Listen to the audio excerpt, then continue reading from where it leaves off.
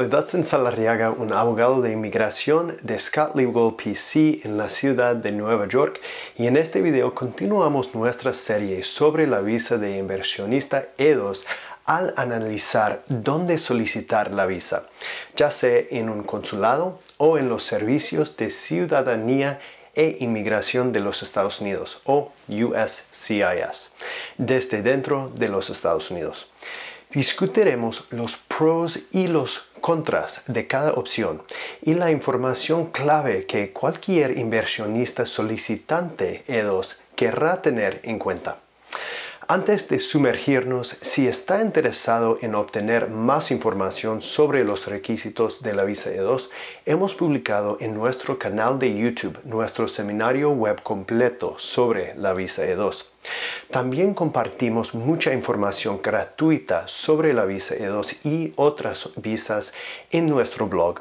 Vamos a vincular a nuestro blog y nuestro canal de YouTube a continuación. Finalmente, recuerde que ningún video o publicación de blog puede reemplazar el valor de trabajar directamente con un abogado de inmigración que pueda navegar los matices específicos de su solicitud. Entonces, echemos un vistazo a lo que debe tener en cuenta al decidir si solicitar una visa de inversionista E2 a través de USCIS o en un consulado. Comencemos con la pregunta fundamental de quién puede aplicar dónde. Casi todos pueden solicitar una visa de inversionista E2 a través de un consulado en su país de origen. No importa si actualmente se encuentran dentro o fuera de los Estados Unidos, el consulado en el país de origen del solicitante casi siempre es una opción y los solicitantes que se encuentran fuera de los Estados Unidos deben presentar su solicitud en un consulado. USCIS, por otro lado, es solo una opción para aquellos que están dentro de los Estados Unidos. Si se encuentra dentro de los Estados Unidos con una visa de estudiante o una visa de visitante, por ejemplo, generalmente tendrá la opción de solicitar el estado E2 a través de USCIS o en un consulado. El proceso de solicitar el estatus E2 desde dentro de los Estados Unidos se llama cambio de estatus, ya que usted se encuentra en los Estados Unidos con un estatus y está solicitando el cambio al estatus E2. Sin embargo, algunas personas en los Estados Unidos no son elegibles para solicitar un cambio de estatus a través de USCIS.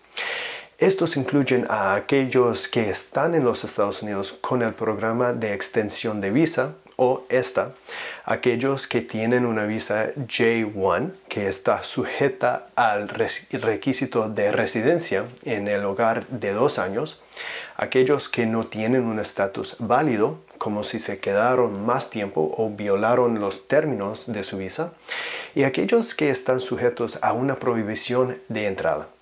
En general, todas estas personas deben solicitar una visa E2 a través del consulado de su país de origen. Además, aquellos que se encuentran en los Estados Unidos también pueden presentar su solicitud a través del consulado de los Estados Unidos en Toronto. El consulado en Toronto, Canadá, es una opción para aquellos que no son ciudadanos canadienses y residen en los Estados Unidos. Residir en los Estados Unidos incluye vivir en los Estados Unidos con una visa de no inmigrante, como una visa de estudiante, por ejemplo.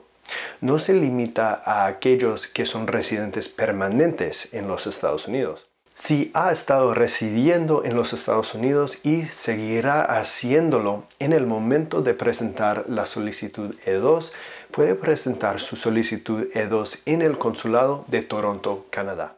Tan pronto como expire el estado de la persona en los Estados Unidos y abandonen los Estados Unidos, ya no residirán en los Estados Unidos y por lo tanto no podrán solicitar la visa E2 en el consulado en Toronto. Este es un buen punto para hacer una pausa y resaltar una diferencia crítica entre el consulado y USCIS. Solo un consulado puede emitir una visa E2, que es necesaria para viajar dentro y fuera de los Estados Unidos. USCIS no puede emitir una visa, pero solo puede otorgar estatus. Esto permite que la persona permanezca dentro de los Estados Unidos, pero tan pronto como salga necesitará una visa para volver a ingresar. Y una visa, como se mencionó anteriormente, solo puede ser emitida por un consulado. Echemos un vistazo a cómo el proceso de solicitud es diferente entre USCIS y un consulado. El primer paso para solicitar la visa en un consulado es completar el formulario en línea DS-160, DS-160. Luego enviaría su documentación de respalda al consulado que demuestre que cumple con todos los requisitos de la visa E2. Entramos en los detalles de estos requisitos en nuestra serie de YouTube sobre la visa E2, así que por favor échale un vistazo si estás interesado. Una vez que se presenten el DS-160 y los documentos de respaldo, el consulado podría solicitar información adicional antes de programar una entrevista en persona. La entrevista le da al funcionario la oportunidad de hacer cualquier pregunta que tenga sobre el inversionista o el negocio E2 y, por lo general, el funcionario aprobará o rechazará la solicitud en la entrevista. Si se aprueba, la visa se agregará al pasaporte del solicitante y luego podrá ingresar a los Estados Unidos en estado E2 y comenzar a desarrollar y dirigir su negocio E2. El periodo de vigencia de la visa E2 será entre 3 meses y 5 años y dependerá tanto del criterio del oficial como del acuerdo de reciprocidad que tenga los Estados Unidos con el país de origen. Si solicita el estado E2 a través de USCIS, el solicitante debe completar y presentar un formulario I-129 129 junto con la documentación de respaldo que demuestre que califica para la visa. USCIS brinda la opción de decidir la solicitud en 15 días calendario por una tarifa adicional de procesamiento premium de 2.500 dólares al momento de este video. Una vez que se envía la solicitud, USCIS puede responder con una aprobación, una denegación o una solicitud de evidencia adicional si tienen preguntas sobre cualquier aspecto de la solicitud. No se requiere entrevista. Una vez aprobado, el gobierno le enviará un aviso de aprobación que otorga el estado E2 por dos años. Mientras no abandone los Estados Unidos, puede renovar el estado E2 indefinidamente, siempre que el negocio E2 y el inversionista sigan siendo elegibles. Una nota sobre el tiempo. Siempre que el solicitante envíe el I-129 a USCIS antes de que caduque su formulario I-94, puede permanecer en los Estados Unidos hasta que USCIS decida la solicitud. Este tiempo no se cuenta en su contra, siempre y cuando hayan presentado el I-129 a tiempo antes de que expire el I-94. Entonces, ¿cómo elige entre solicitar un consulado o USCIS? En la mayoría de los casos se recomienda que el inversionista E2 presente su solicitud en un consulado. Hablemos de por qué a menudo se prefiere un consulado sobre USCIS. Primero, si se aprueba la solicitud, el consulado emitirá una visa E2 en lugar de solo el estado E2. Una visa permitirá al solicitante viajar dentro y fuera de los Estados Unidos. Una aprobación del Estado E2 por parte de USCIS le permite permanecer en los Estados Unidos por hasta dos años, pero en el momento en que salga de los Estados Unidos deberá solicitar una visa E2 para volver a ingresar. Como resultado, presentar una petición de cambio de estatus generalmente es solo una solución temporal para la mayoría de los solicitantes, quienes eventualmente querrán obtener una visa E2. Tan pronto como el inversionista decida solicitar una visa en el consulado, se requiere una solicitud E2 completamente nueva. El consulado no está obligado a diferir la aprobación de USCIS y requerirá revisar y adjudicar la solicitud como nueva. Los consulados también tienden a dedicar mucho menos tiempo a revisar la fuente y el rastro de los fondos invertidos en el negocio y, por lo general, están satisfechos si está claro que el dinero proviene de una fuente legítima y legal. USCIS, por el contrario, requerirá una contabilidad de cada dólar invertido en el negocio E2, rastreándolo desde su origen hasta el negocio E2. Para las presentaciones de cambio de estado de USCIS, el solicitante debe incluir documentación mucho más detallada sobre la fuente y la transferencia de fondos al negocio E2. USCIS requiere recibos y comprobantes de pago por cada gasto realizado para el negocio E2. Por lo tanto, en situaciones en las que la inversión se realizó hace un tiempo y no puede reunir todos los documentos necesarios, presentar una solicitud en un consulado puede ser una mejor opción.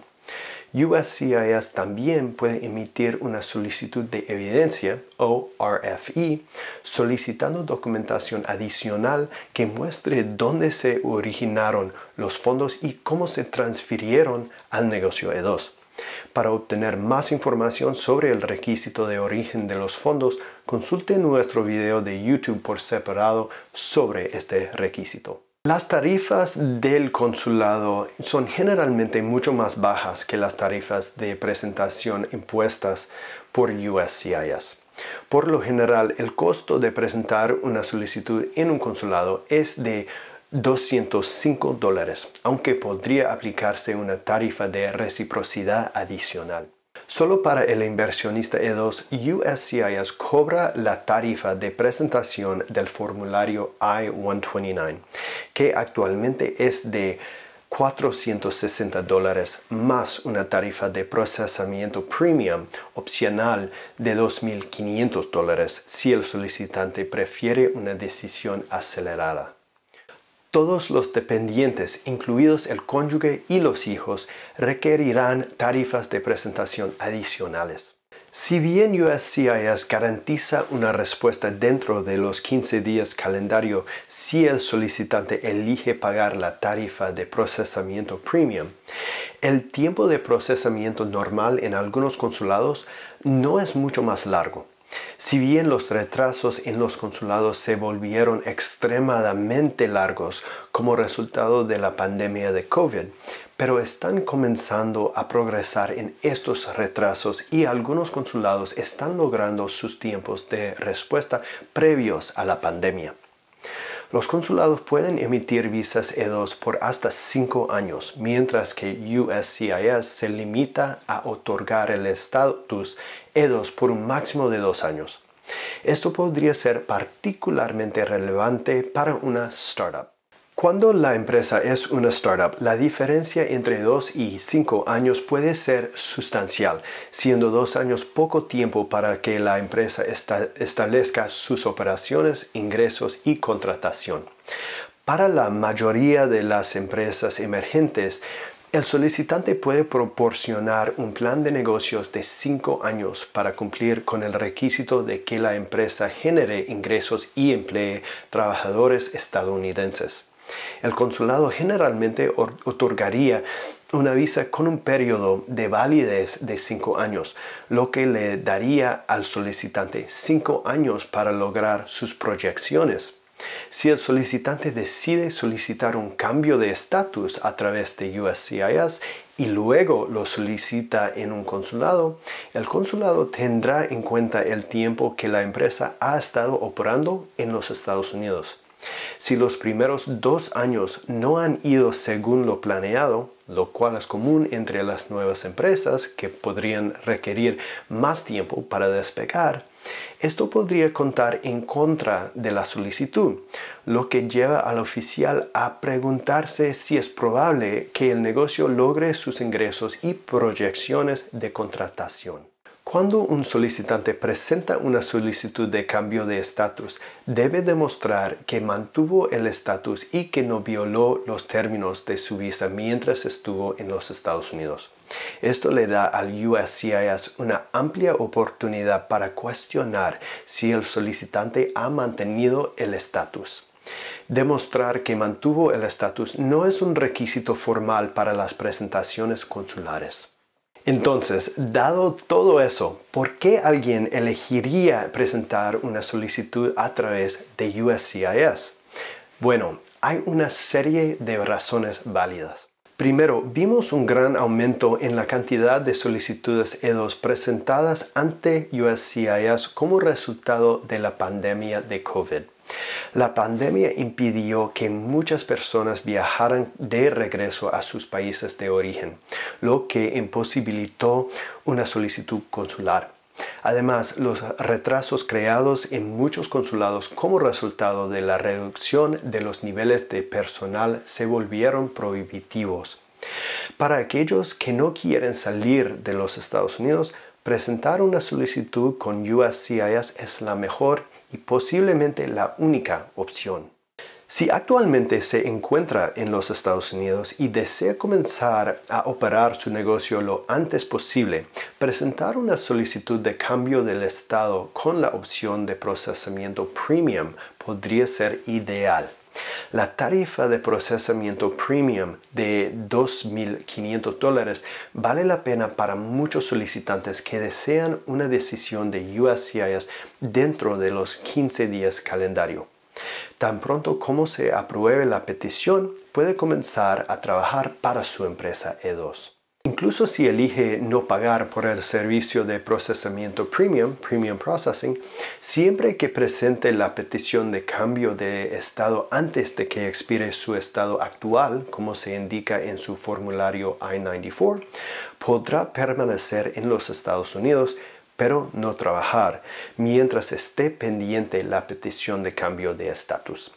Actualmente USCIS requiere varios meses para decidir las solicitudes E2 sin procesamiento premium, pero también siempre tiene la opción de solicitar el procesamiento premium y pagar la tarifa más tarde si decide que desea conocer la decisión antes. Actualmente, USCIS requiere varios meses para decidir las solicitudes E2 sin procesamiento premium, pero también siempre tiene la opción de solicitar el procesamiento premium y pagar la tarifa más tarde si decide que desea conocer la decisión antes. Solicitar un cambio de estatus a través de USCIS también puede ser una gran opción si el cronograma de reciprocidad de su país solo le otorga la visa por varios meses. Recuerde que el tiempo de emisión de la visa depende del acuerdo de reciprocidad que tenga Estados Unidos con el país de origen. En algunos países la visa se emite por tan solo tres meses. Para los ciudadanos de estos países, los dos años de estatus proporcionados por USCIS podrían ser preferibles. Si se van, necesitarán obtener una visa para regresar a los Estados Unidos. Tenga en cuenta que la duración de la visa E2 solo rige el periodo de tiempo que tiene para ingresar al país. Una vez que un solicitante ingresa al país, se le otorgan dos años en el estado de visa E2, incluso si ingresa el último día de su visa E2.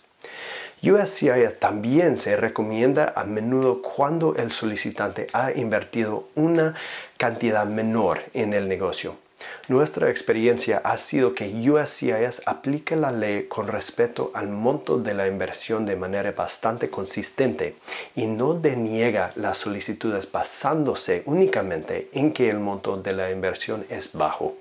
Esto podría deberse a que las decisiones de USCIS se pueden apelar y al solicitante se le otorga el debido proceso cuando se encuentra en los Estados Unidos. Vale la pena señalar que si bien la adjudicación en los consulados puede no ser tan consistente como USCIS, los funcionarios consulares se rotan cada dos años.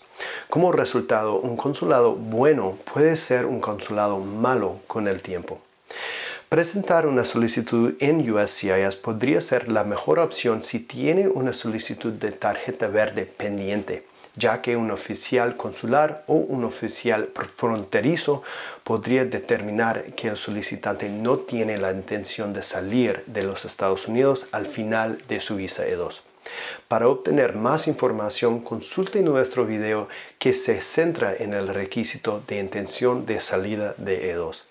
Si tiene una petición de inmigrante pendiente, debe hablar con un abogado de inmigración calificado para navegar cuidadosamente a través de este proceso. Finalmente, algunos clientes preguntan si es posible presentar una solicitud en un consulado y USCIS al mismo tiempo. La respuesta es sí, y puede haber razones estratégicas para hacerlo.